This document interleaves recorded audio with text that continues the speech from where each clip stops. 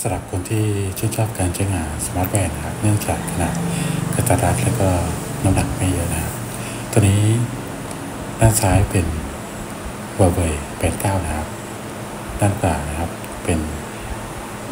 Xiaomi 89 นะครับเพื่อนๆดูตัวล็อกก็ต่างกันนะครับซึ่งหลักก็คุ้นเคยกันดีนะครับ รูปแบบแต่ละแบบนั้นก็มีความเฉพาะของตัวนะครับ ก็เน้นทั้งคู่นะครับ ใส่ได้โอเคทั้งคู่เลยนะครับ ก็มาให้เพื่อนดูนะครับ เนื่องจากเราซื้อตัว Huawei Band 9มานานนะครับ แต่ว่าตัว Xiaomi Smart Band 9เพิ่งออกมานะครับ เลยมาให้ดูว่าเป็นอย่างไรครับ ขนาดแล้วก็ความยาวก็ใกล้เคียงกับสำหรับตัวสายนะครับตัวเครื่องนะครับ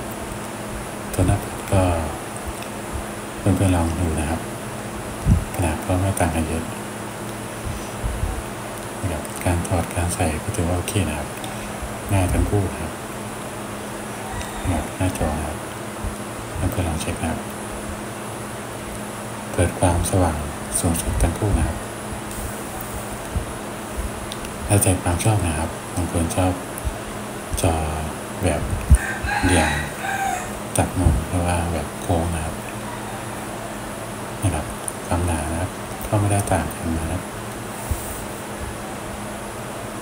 ความยาวครับ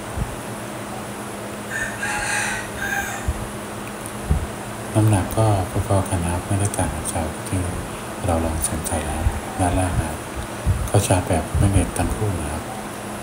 วิธีการต่อสายก็แบบเดียวกันนะครับใช้สลักด้านข้างนะครับ ตัวหัวเบนเก้าก็จะมีปุ่ม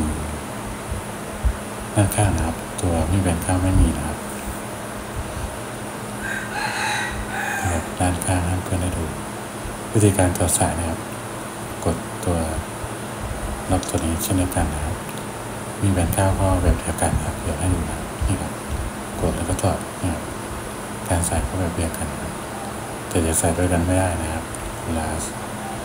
ดีไซน์นะครับแต่รูปแบบก็เหมือนกันนะครับนี่ครับก็แล้วแต่ความชอบของแต่ละคนนะครับก็มาดูทั้งสองตัว